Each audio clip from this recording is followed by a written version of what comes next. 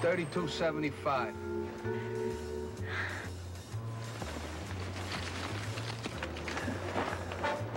I didn't bring my purse.